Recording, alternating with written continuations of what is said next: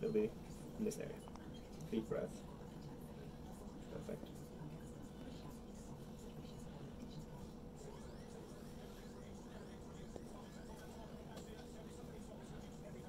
One more.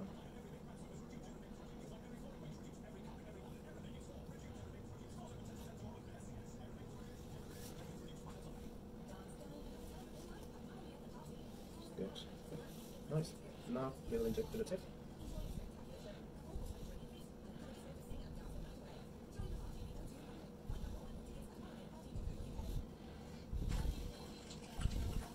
Good.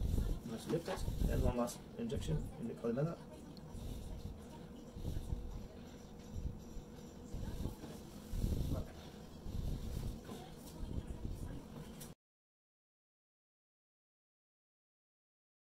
So now it's time for the chin.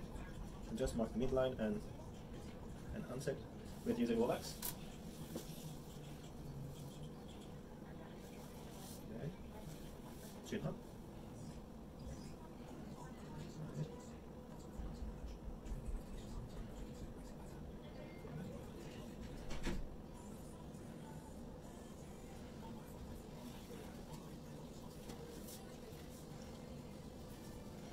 So as you can see now, there's a better harmony with the nose and the chin. If you sit up, can you please sit up for a second? We corrected the dent here, increased the, the height, increased the projection and the rotation, increased the projection of the chin, and now you see it's a better harmony with the lips, nose, and the chin. Okay, so the profile balancing is done. We will fix the front view with under eye fillers, some nasolabials, and then we will go back to the temple. Cool. Okay. So now it's time for the under eyes. Just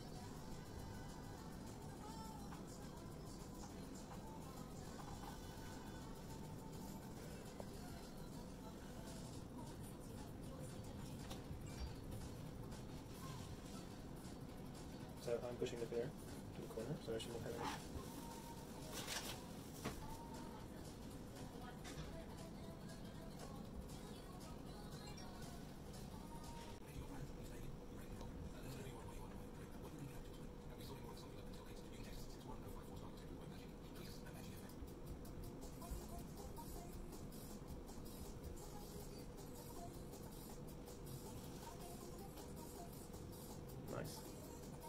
So the temple fillers will support the, this area, upper cheeks, eyebrows, and also correct this concavity here.